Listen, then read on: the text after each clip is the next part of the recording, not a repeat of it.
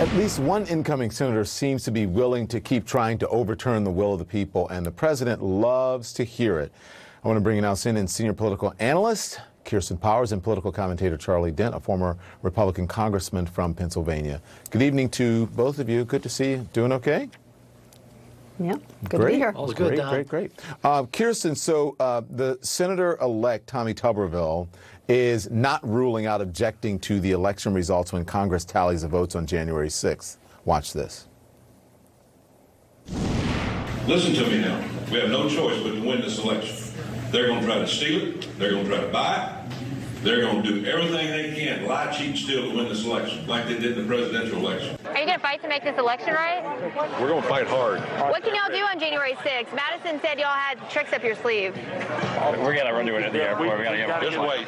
Just, you, well, you see what's coming. You've been reading about it in the House. The Democrats are not going to. We're going, we're going to do it in the Senate.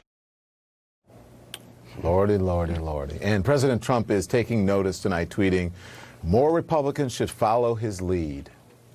I mean, this plays into Trump's twisted narrative that he has been cheated. And why is this guy going along with this BS? I don't know. I can't get into his motives, but you know, it's obviously completely made up. It's not it's it, it, could it's going to create delays, but it's not going to actually ultimately change the outcome of, of what happens. So I don't think people should be too concerned about that. But just the idea that you have you know people out there, somebody who's going to be a U.S. senator, uh, saying these kinds of things um, is so scary, and also just to consider anybody who's been sitting here watching the news what is actually happening in this country right now in terms of this pandemic, in terms of needing a stimulus package, and you have the president of the United States, you know, is, is tweeting about still this craziness with this idea that somehow the election has been stolen rather than actually dealing with the job of being the president, rather than actually dealing with the fact of, you know, major hacking throughout the U.S. government. I mean, it's just I'm kind of at a loss for words at this point. Mm. Uh, yeah. Charlie, listen, uh, the number two Republican Senator uh, John Thune, you know, the tall guy you always see behind uh, in the background there, he's been there for a while. He is hoping that Tuber- Tuberville doesn't do it. He says it's time to move on. Do you think the Republican Senate will, is going to stay in line?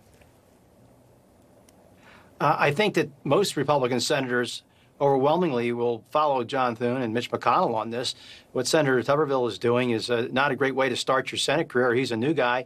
Uh, as Kirsten said, he might disrupt things, slow, slow things down a little bit. He's not going to change an outcome. It's a complete waste of time. I think the senators will be more disciplined than the House members, frankly. I'm more worried about the House uh, being disrupted at, at, at this point than the Senate. Really? Why so? Tell me about it. Well, because I think there are more members. You saw, you know, I, I believe over 126 signed a letter yeah. uh, basically supporting the Texas lawsuit that would have disenfranchised millions of voters in Pennsylvania, Georgia, Michigan, and Wisconsin. Uh, in, in, many respects, uh, I, I, think they're they're less disciplined in, in the House uh, on on these types of matters. They they don't follow instructions as well from their leadership as do as does the uh, the senators. So I think you have a, a, potential problem. Now again, it'll be disruptive. It's not going to change an outcome. Joe Biden's going to be uh, uh, elected, and he'll and he'll be uh, he'll be approved by the House and the Senate on on January sixth. It's just one more delusional act to add to the circus that is already uh, in Washington right now.